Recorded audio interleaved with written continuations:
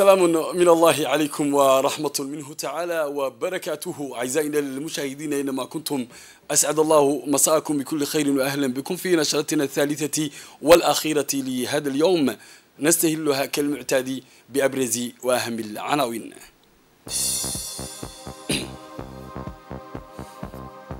تنظيم اجتماع مكرس لإطلاق نظام المعلومات المتكامل للمحافظات وتحديدا لمحافظة عرتا الصحة العالمية ترحب بتوزيع اللقاح ضد الملاريا للدول الإفريقية. تلكم كانت مقدمة النشرة وإليكم تفاصيلها من تلفزيون جيبوتي. أهلا بكم.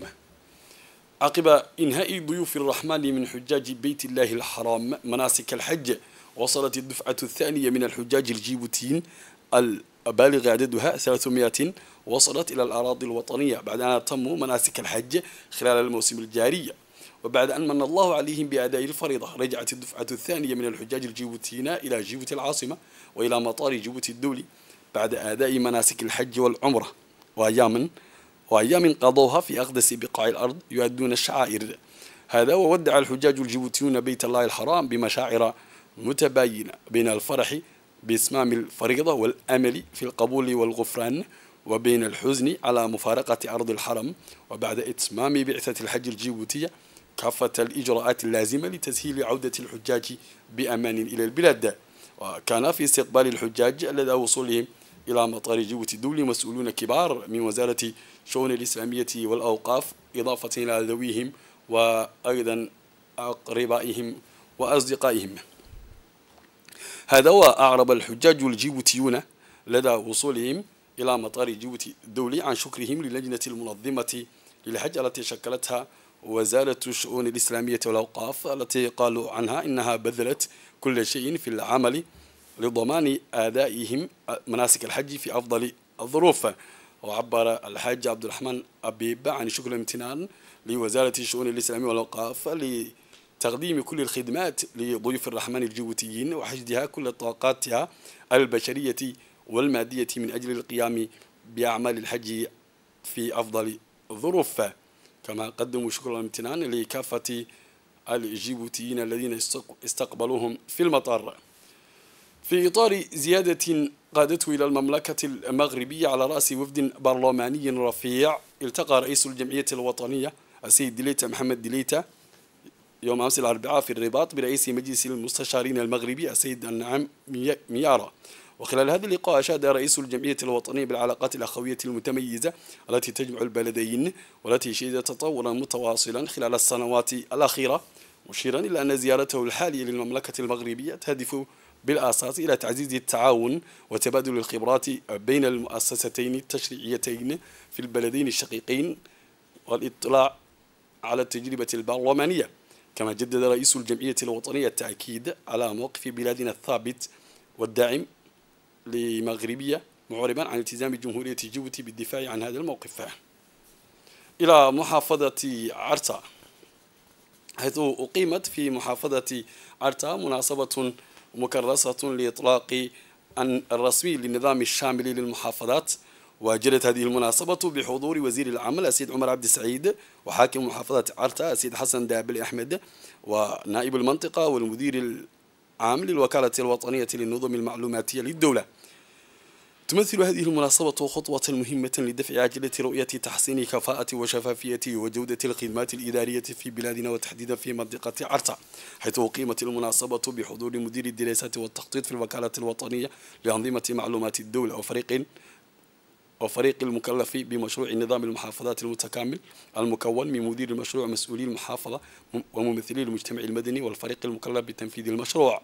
وفي كلمته الافتتاحية عرب والي المنطقة عن امتنانه لكل من ساهم في تطوير وتأسيس النظام المتكامل للمحافظات واختتمت الفعالية بتقديم الشهادات للموظفين محافظة عرس الذين استفادوا من الدورات التدريبية على نظام المحافظات المتكاملة التي نظمتها وكالة نظم معلومات الدولة منذ مايو الماضي في العاصمة وفي المناطق الداخلية.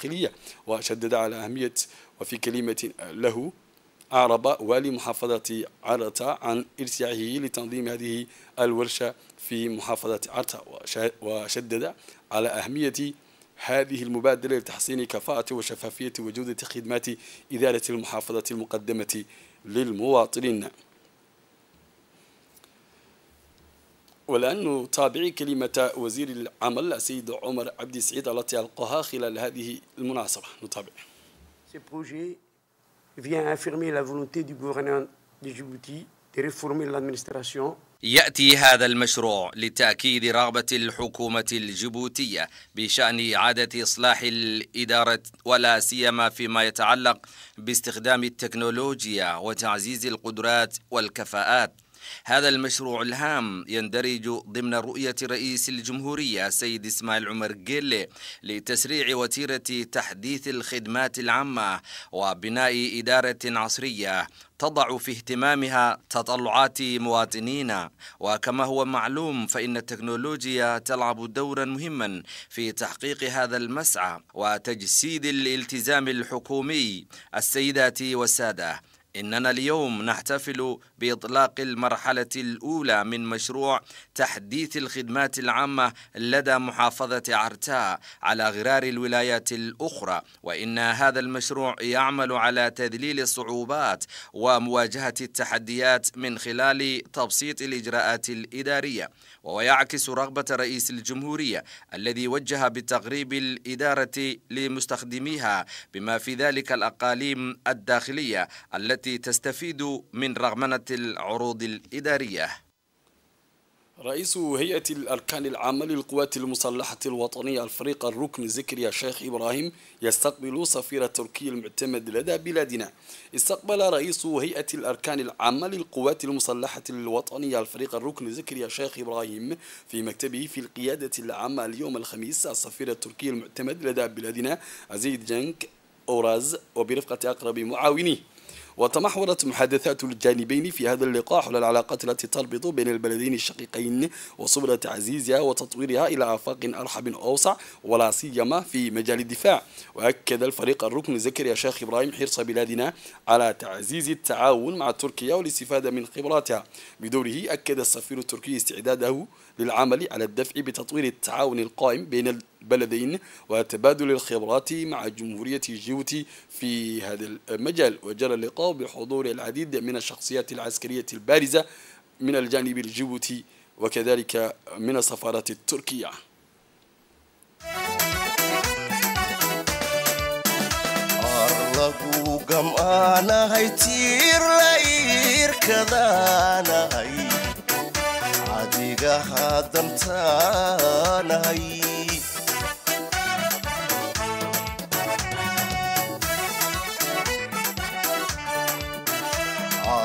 Gam'aanahay tiir layrkadaanahay adiga haddantaanahay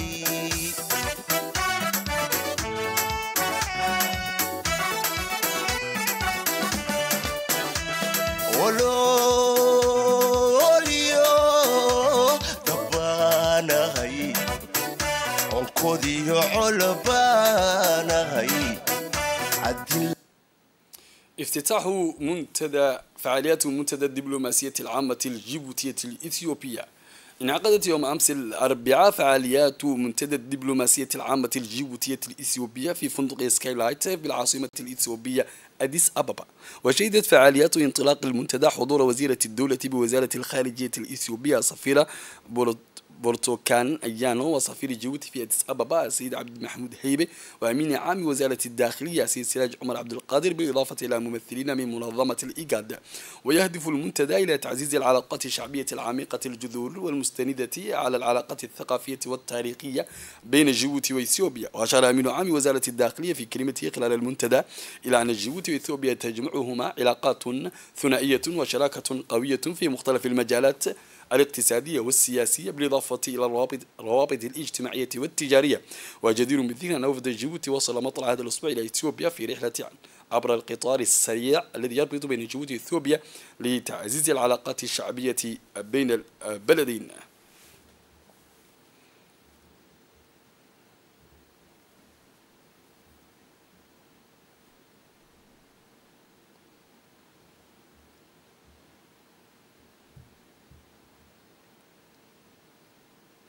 كما شارك في هذا المنتدى شخصيات رفيعة المستوى لكلا البلدين الجارتين جيبوتي وإثيوبيا.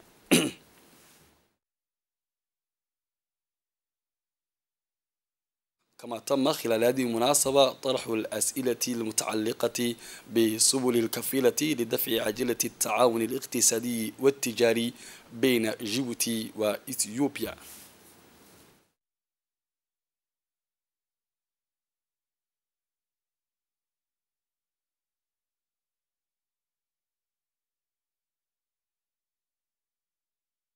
صورة تذكارية لجميع المشاركين في هذا المنتدى حول الدبلوماسية العامة الجيبوتية الإثيوبية. وفي كلمة لوزيرة الدولة بوزارة الخارجية الإثيوبية أشادت بالعلاقات الثنائية القائمة بين البلدين. نتابع مع زميل فيصل. يعزز العلاقات المتعددة المجالات بين البلدين وخاصة في مجالات التجارة والاستثمار والسياحة وكذلك الاجتماعية وغيرها. إن هذا المنتدى يعكس رؤية إيجاد لعام 2050 وكما تعلمون فإن الطور الأول لرؤية إيجاد لعام 2050 يولي الأولوية للتحول الإقليمي من خلال التجارة والاقتصاد الأخضر والأزرق وكذلك الاستخدام الأمثل للموارد الطبيعية وهذا سيساعدنا في تنفيذ الاتفاقية التي وقع عليها البلدان في عام 2012 حول التعاون على السيطرة الحدودية ومكافحة الهجرة غير الشرعية والتنقل. السيدات والسادة في الختام أود أن أؤكد أن إثيوبيا تولي اهتماما خاصا لتعزيز العلاقات المتينة التي تربط بين بلدينا. من جانبه أوضح مدير الشؤون العامة والدبلوماسية السيد عبد ياسين أشار إلى الآثار الإيجابية التي تنتج من العلاقات المتميزة التي تربط بين البلدين. نتابع. This exchange of people and experience, people to people experience, إن تبادل الخبرات والثقافات بين الشعوب له آثار إيجابية عابرة للحدود. إثيوبيا كونها عضو مهم في التعاون بين البلدان المجاورة وكذلك في الإيجاد تؤكد أنها مصممة في تعزيز العلاقات وفي كل المجالات. أعتقد أننا دخلنا في عالم عميق. عندما استمعنا للفنان المشهور أبي يزيد عندما كان يغني كالفنان المشهور الراحل علي برة باللغة الأورومية كما في المقولة الشهيرة نقوم إذا اتحدنا ونسقط إذا انقسمنا تحيا العلاقات بين جيبوتي وإثيوبيا. بمناسبة الذكرى السادسة والأربعين لاستقلال بلادنا نظم الدكتور مهد فار أو مهدي فارح إبراهيم كبير الأطباء في مستوصف في مستوصف دكتور جوليد حسين جوليد في حي كيلو اثني و كيلو اثنين. اثني عشر بالشراكة مع بلدية بلبلة وجمعيات الأحياء والمجتمع المدني يوما للتنظيف ومكافحة الحشرات وزرع الأشجار شهد هذا اليوم مشاركة مكث... مكثفة عفوا من قبل كافة شرائح المجتمع القاطن في حي كيلو اثني عشر وأقيمت هذه العملية التنظيفية بمبادرة من رئيس أطباء عيادة حيابلية الطبية وموظفيها حيث استمرت أنشطة التنظيف عدة أيام. واشتملت الأنشطة التي تم القيام بها التنظيف الشامل للعيادة وتدمير مواقع التكاثر وزرع الأشجار في المستوصف. وتأتي هذه الأنشطة في إطار الاحتفالات الجارية بذكرى السادسة والأربعين لوطننا المجيد وفي إطار تنشيط العيادات وذلك وفقا لتوجيهات رئيس الجمهورية السيد اسماعيل المرقلي ووزير الصحة دكتور أحمد رابع عبد الله الرامي إلى تحسين وتعزيز صحة المجتمع. وشكر رئيس الأطباء جميع الفاعلين الذين شاركوا بنشاط بما في ذلك طاقم العيادة وكبار المنطقة ووكلاء لجنة صحة المجتمع. أقامت جمعية تيك النسائية في جيبوتي اليوم حفل توزيع الشهادات للمستفيدين من دورة تدريبية في مجال التكنولوجيا وذلك في مركز السلامة ومكنت هذه المبادرة التي يدعمها برنامج الأمم المتحدة المائي 97 فتاة من تلقي دورة تدريبية في مجال تكنولوجيا المعلومات والاتصالات وتطوير مشاريع مهمة في مجال التكنولوجيا المدنية. وشهد هذا التدريب إنشاء 18 مشروعا حول التكنولوجيا المدنية. وتميز الحفل الذي أقيم صباح اليوم بتقديم خمسة مشاريع مختارة وهي من بينها شباب من أجل الإنترنت. وتوضح هذه المشاريع التي طورها المشاركون في برنامج توضح التزام وإبداع وابتكار الشابات في جيبوتي في مجال التكنولوجيا المدنية بالإضافة إلى تقديم الشهادات وشكل الحفل أيضا فرصة للجمعية النسائية لتقديم تقرير حول المنصة الجديدة التي أنشأت عبر الإنترنت. حول الجمعية وهي أداة إضافية لتعزيز المشاركة لدى البنات. وفي كلمة لممثلة برنامج الأمم المتحدة للتنمية في جيبوتي أشادت بالجهود التي تم بذلها لإنجاح هذا التأهيل وكذلك التدريب ولا سيما من قبل رئيسة الجهة المنظمة السيدة رقية. هذا المشروع ترك تركز حول مجالات عدة كالتكنولوجيا والمونتاج وإدارة الأدوات والوسائل الرقمية والإعلام وغيرها. وإننا نعتقد أن هذا المشروع من شأنه أن يعزز قدرات وكفاءة المتدربين من الفتيات وإنني أحلم أن أرى العام القادم وقد تحققت هذه المشروعات على أرض الواقع وكذلك تحويل المبادرات إلى أنشطة عملية. وإننا بدورنا سنقدم الدعم اللازم لإنجاح هذا النوع من البرامج والأنشطة. ونحن سعداء وفخورون بهذا العمل الرائع الذي تم إنجازه. وفي كلمة لرئيس جمعية التيك النسائية في هذه المناسبة قالت إننا نقدم مجانا التدريبات بهدف تعزيز قدرات المتدربين وأيضا من أجل تمكينهم من الوصول إلى مرحلة اكتفاء ذاتي فيما يختص باستخدام التكنولوجيا الجديدة للمعلومات. ومنذ إنشاء هذه الجمعية قمنا بتأهيل 900 شابة ونضم في عضوية المؤسسة عشرة أعضاء وتشمل أنشطتنا التدريبية والتوعوية وورش العمل والمناقشات التي تعقد مع الخبراء وإحياء المناسبات العالمية من قبيل اليوم العالمي للمرأة والتكنولوجيا وإننا منفتحون على كافة الفتيات والشابات من 15 عاما وما فوق. وإن الدورة التدريبية التي نشارك فيها تم تصميمها من أجل تأهيل الفتيات والسيدات في مجال الرقمنة وأيضا تمكين المشاركات من الانخراط في عالم الرقمنة والالتزام والمشاركة المدنية وعلى مدى ثمانية أشهر واستفادت المشاركات من الموضوعات المختلفة التي يتمحور حولها التدريب من قبل المواطنة والقيادة والاتصالات الرقمية وغيرها. في ختام هذه المهمة أو في ختام هذه الكلمة أتقدم بالإشادة للمشاركات اللواتي أظهرن الالتزام والانضباط فضلا عن الإبداع في المشاريع المختلفة لكل متدربة. عقب تحقيقات متواصلة تمكن محققون من قسم البحث والتوثيق من إلقاء القبض على ثلاثة متورطين باستغلال الشبكات الاجتماعية لإساءة معاملة الفتيات الصغيرات وخاصة القاصرات. وكان قد تم الدعوة وكان قد تم تقديم شكوى لدى المحققين على إثر شخص خطير يستغل ضعف الأطفال والفتيات بسبب سنهم لتقديم مقاطع فيديو وصور له طواعية قبل إجبارهم على القدوم لرؤيتهم. بعد إلقاء القبض على جهاز أدى استغلال الوسائط الرقمية للمشتبه به الأول إلى اكتشاف اثنين من الجنايات الآخرين الذين يتصرفون في عصابة منظمة. في المجموع تم الاكتشاف على سبعة من ضحايا هذه العصابة من بينهم اثنتان من القاصرات تبلغ أعمارهن 16 عاما. هذا وأقر جميع مرتكبي هذه الأفعال الإجرامية بالأفعال التي اتهموا بارتكابها وحيازة مقاطع فيديو للأطفال وانتهاك الخصوصية والابتزاز في, نهاية التحقيق سيمثل المتهمون أمام العدالة لاتخاذ الإجراءات القانونية ضدهم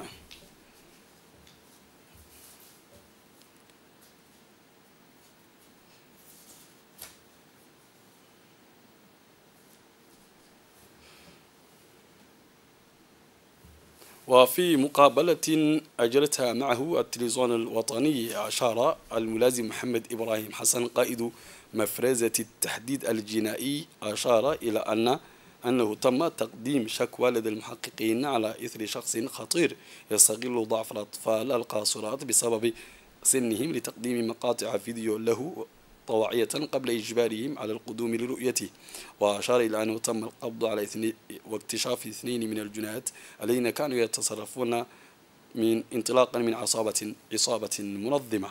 وقال في المجموع تم الاكتشاف على سبعة من ضحايا هذه العصابة وأقر جميع مرتكبي هذه الأفعال التي اتهموا بارتكابها وأنهم عندهم مقاطع فيديو للأطفال وانتهاك الخصوصية لديهم.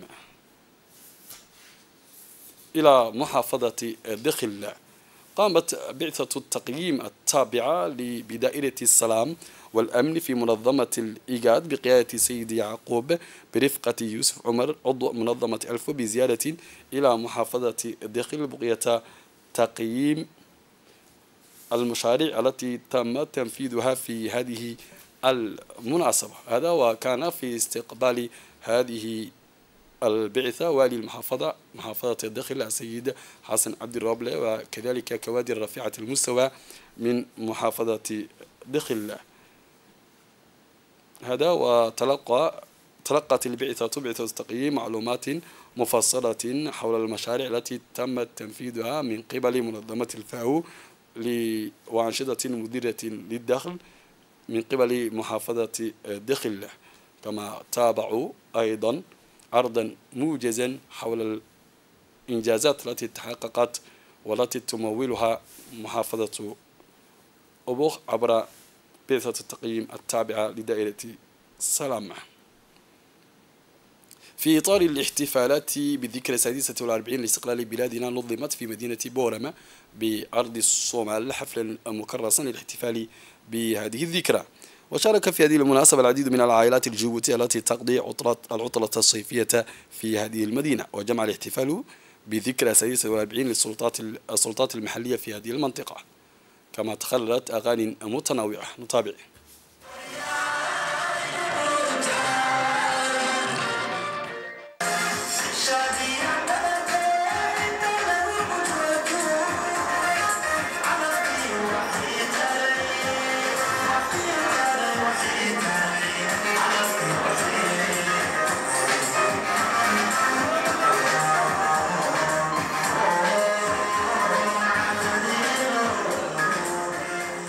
Waxaynu hambalyaynaynaa وقدمت السلطات المحلية في مدينة بورما تهانيهم الحارة لفخامة رئيس الجمهورية سيد معلوم الرجل وعقيلة سيد جيبوتي الأولى رئيسة الاتحاد الوطني سيد جيبوتي السيدة خضراء محمود حيد وكافة الشعب الجيبوتي بمناسبة الاحتفال بالذكرى السادسة والأربعين لاستقلال الوطن المجيد.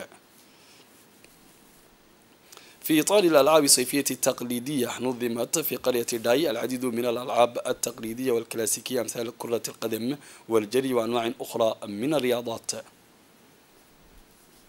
إلى الساحة الدولية أعلنت منظمة الصحة العالمية ومنظمة الأمم المتحدة للطفولة يونيسيف اللقاحات والتحصين اليوم الأربعاء أن نحو 18 مليون جرعة من أول لقاح مضاد للملاريا سوف تسلم إلى 12 دولة إفريقية حتى عام 2025 وقال المدير العام لمنظمة الصحة العالمية تدرس أذهانهم في مؤتمر صحفيين الملاريا تبقى أحد أكثر الأمراض فتكا في إفريقيا.